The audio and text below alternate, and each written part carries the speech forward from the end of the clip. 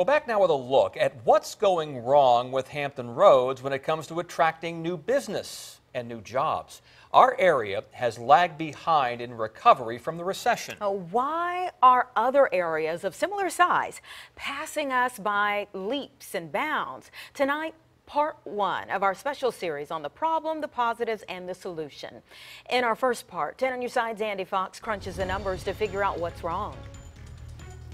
U.S. Bureau of Labor Statistics, job growth since 2009. Hampton Roads is dead last among all these cities, including Detroit and Richmond. Two factors. This red line measures job growth. We haven't created a net new job in 10 years. We've flatlined in job growth since 2008. Even worse, our bread and butter, the military, lost 29,280 uniform jobs since 2003, due in part to sequestration.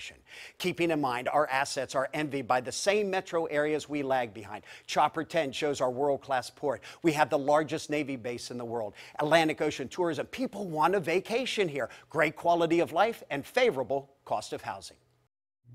What's wrong with us is a good question. Jim Spore is president and CEO of Reinvent Hampton Roads and calls it lazy region syndrome. We have been vastly underperforming other regions around the country. Why is that? Well, we're too dependent on federal defense spending. We're a splinter community, unwilling to invest to diversify. We lack workers with needed skills, and perhaps most importantly, ineffective leadership. I don't see public leadership being as engaged interactively at the regional level as they should be.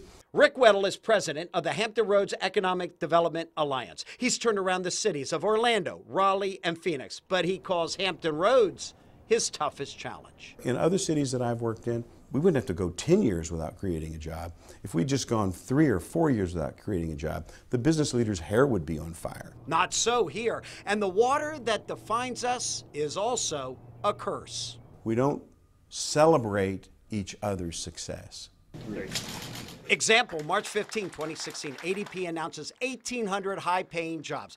It was not considered a regional win, only a Norfolk win. According to the ADP invitation list, no other elected official from another locality was even invited. We're not happy in Hampton Roads if another community wins. Economically, these days, everyone's happy in Charleston, South Carolina. They weren't, though, in 1993. That's when BRAC shut down Naval Station Charleston. And they organized and funded and, re- and they started working together, not opposed to each other. Today, Charleston has a Boeing plant, a Mercedes Benz Vans plant, and Charleston's job creation dwarfs the much larger Hampton Roads. We haven't learned how to cooperate to be competitive. Norfolk did have a Ford assembly plant, but that closed down in 2007 with 2,400 jobs lost. Charleston was ready. We are not. In all Virginia, we do not have any shovel ready sites larger than 100 acres to lure a company like Mercedes Benz Vans. John W. Wynne is board chair, Reinvent Hampton Roads. You can look at both Charleston and Savannah that have been very aggressive at getting sites and getting locations there with jobs. How come we aren't doing that? Why are we not getting the sites I can ready? tell you that. How do I know? Mm-hmm. They haven't done it. And that's the problem.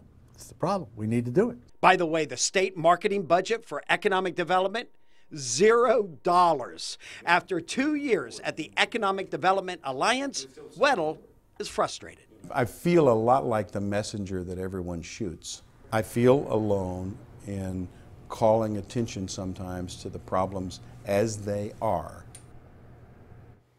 We asked W. Wynne to paint a picture of Hampton Roads if we fail to fix what's wrong with job growth. He told us our workers and companies will continue to leave, as will our children. To stop those things from happening, W. Wynne and others are spending a lot of time to fix what's wrong. I'll report what they are doing next Wednesday at 6. I'm Andy Fox, 10 on your side.